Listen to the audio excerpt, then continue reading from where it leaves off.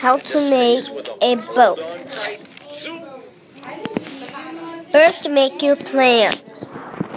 Next, make a boat.